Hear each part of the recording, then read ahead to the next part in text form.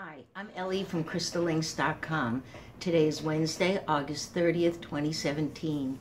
There are video blogs I have done in the past that are more happy and bubbly. This one today comes at the time of a natural disaster called Hurricane Harvey. It started last week, Friday to be exact, in the Gulf of Mexico and into Texas, into Houston. Houston is flooded uh, that's all you really see on the news. It makes you not want to go and, and, and do anything but just pray for the people who have lost everything. Picture your life that everything that you cherish is gone. Hopefully, not loved ones, but just inanimate objects, which, as we know, can be replaced. Um, this storm was predicted. Some people prepared and left most seem to have stayed.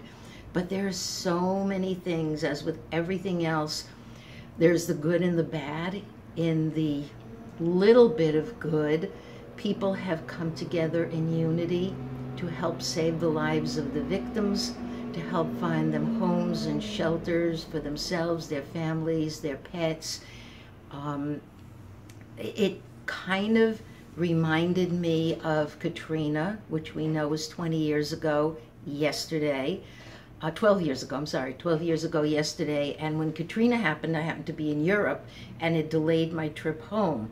Then I moved forward with something that was a little closer to home, and that was Hurricane Sandy. And since I live right on the Atlantic, Hurricane Sandy was quite the disaster for my area, but absolutely nothing nothing compares to what is currently going on in Houston. Uh, there's dangers, there's chemical plants that could blow, there are uh, rising rivers flooding everywhere. It's, it's something unprecedented. I, it could be one of the worst disasters this country has ever faced. I looked at things like could a hurricane of this magnitude cause, well, besides we know it might cause mudslides, could it cause earthquakes?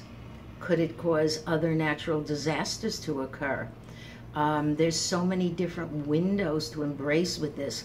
Politically, yesterday, uh, President Trump went to not Houston, he went to two other places, Austin and I think Corpus Christi, with his wife, but his we all think he did it for the optics you know and the oh look at the great big crowd. But you know what?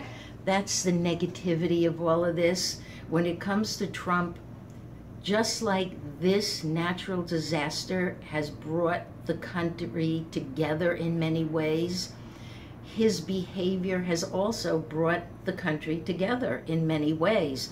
So i always look at everything as there's the good and the bad.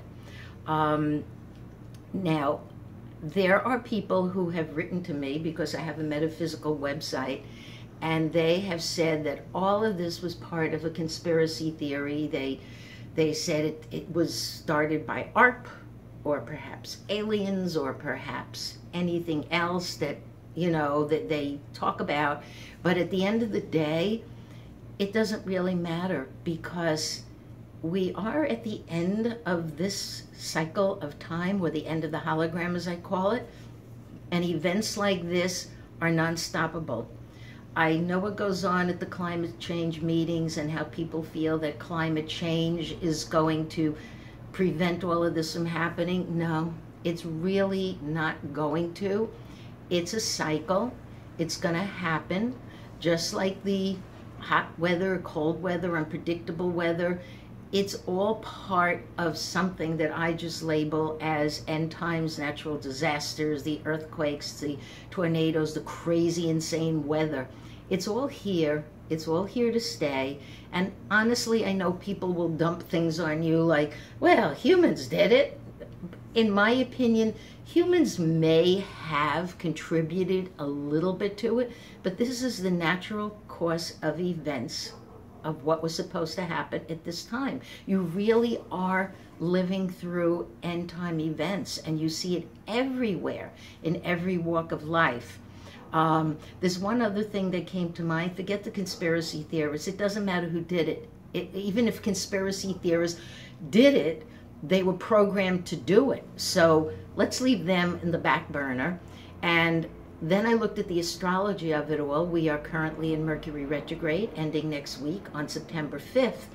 Mercury retrograde, I call repetitions and delays. That means that things that occur at this time will occur again. And if it does have to do with climate and any earth changes, it will be stronger and more powerful. After Sandy happened in my area about five years ago, it'll be five years, people who lived on the coastline, people who lost their homes, who lost everything, they were the first ones to stand up and say, This is far from over. This is going to happen again. Anybody who lives coastal can be affected by this, not to mention the fact I can't leave this out.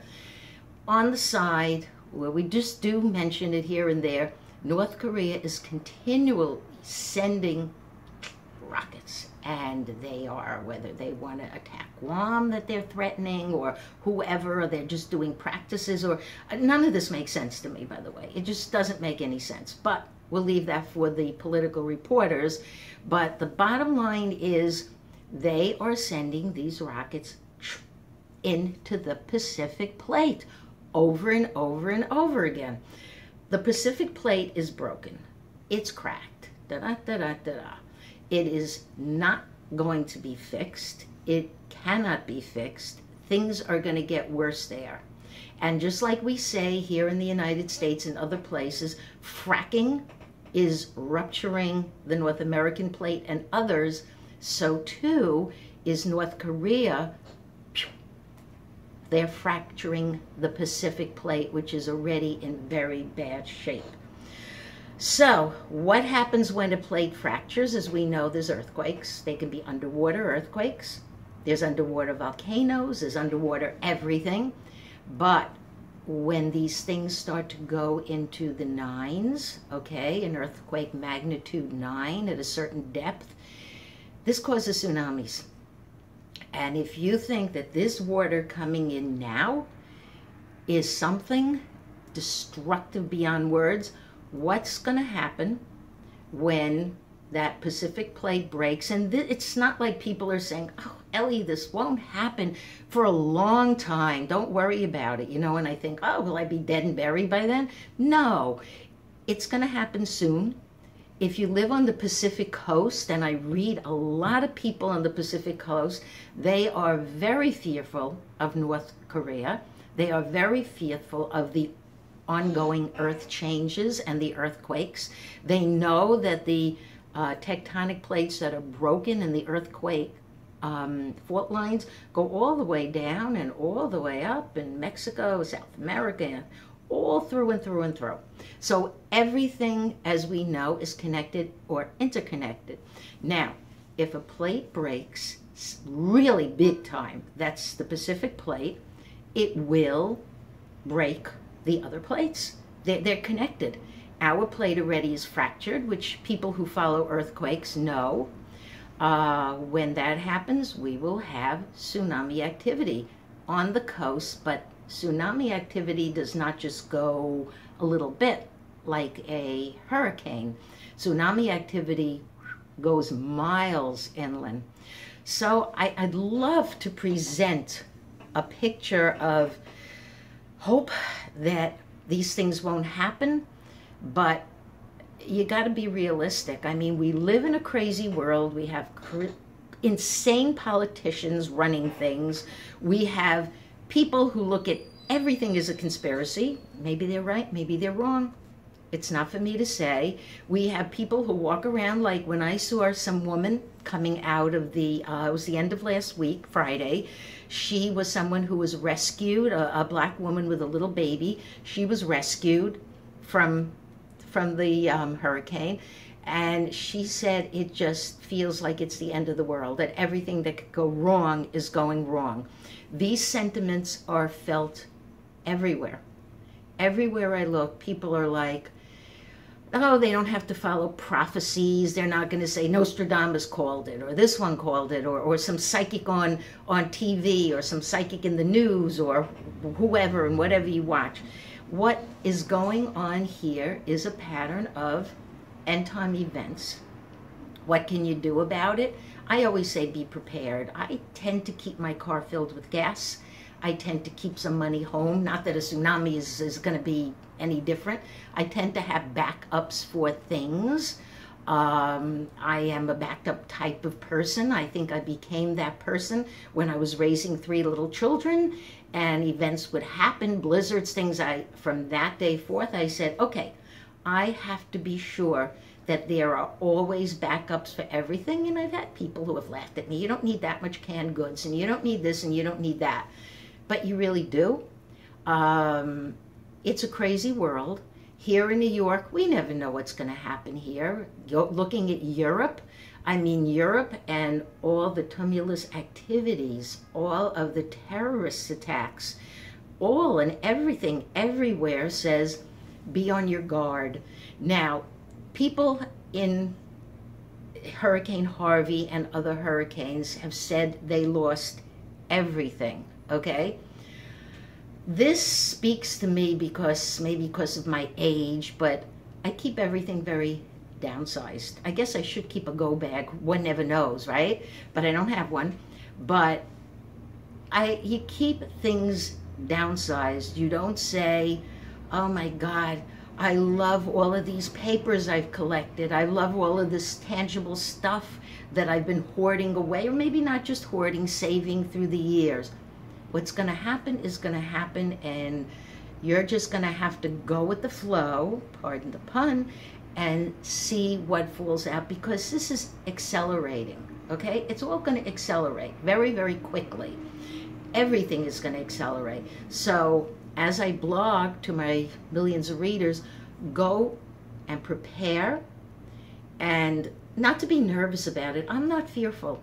I'm really not. I mean, when people talk about this could happen with Korea, this could happen here, this could happen there, again, it could go to my age, but I also feel que sera, sera, you know, whatever's going to be is going to be. I see a series of end time events that happen almost like a domino effect, starting with natural disasters and climate, boom, boom, boom, affecting economies, politics, social behavior, everything. Mostly it unites people, which is great. Um, but, you know, always remember everything has a positive and a negative and a good side and a bad side and it's for you to determine you know what you would do if there was an earthquake. What would you would do if there was a flood? Well you know we'll be it's august now but a couple of months along comes the snow. Always be prepared mentally and physically. Um, I don't know what else to say about the poor people in Houston and surrounding areas who are left homeless other than I, I know that people are reaching out, raising millions of dollars. The government, you know, I read today something interesting about insurance that I don't know if this is true, but it came from NBC that 80% of the people who were flooded out did not have flood insurance. They may have had other insurance, fire and whatever, but they didn't have flood insurance. The government, there's a whole thing going on with the government about how much is going to be paid out. But people are going to rally. Texas Texans are strong people, just like the New Yorkers, but no, this will not take days, weeks, months, or years even. It could take decades. I mean, some of the damage here in New York from Sandy is still not corrected. People are still putting back the pieces of their lives. So you have to be a strong person in today's world, whether you're reading about the craziness or living it and experiencing it. You have to just say, in the moments of most stress, just do that, that one deep breath thing where you just go, center your brain, center your thinking, and then let whatever's programmed to happen happen. Uh, I always do it as one deep breath. I'm sure you've seen it all over. People always say, okay, relax, take a deep breath, focus. I do it one deep breath, I think is enough. But whatever it is okay? Particularly if you're in areas of flooding and earthquakes and all kinds of disasters, be braced, be prepared. You know, I know you all have your little personal dramas, whether it has to do with the relationships you're in or your personal health or your finances or or anything else, your children, family issues. I know. Everybody is dealing with something, right? Even the monks, they used to say, well, if you're a monk, you go live in a monastery in Tibet. They deal with their stuff too. Everybody deals with stuff. That's what we're here to experience. So whatever your stuff is, Think about what your priorities would be in case of, even in case of a blackout. What are you going to do if there was the power grid went down and you did not have your cell phone or your tech stuff? So be prepared for all things. And until the next blog, stay safe. Send prayers to the people in Texas. They're going to need them for a long time coming. Um, and we shall see what comes up next. Thank you for watching.